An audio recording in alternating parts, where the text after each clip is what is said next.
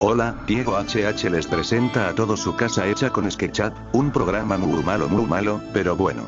Disfruten del video XDX de LOL.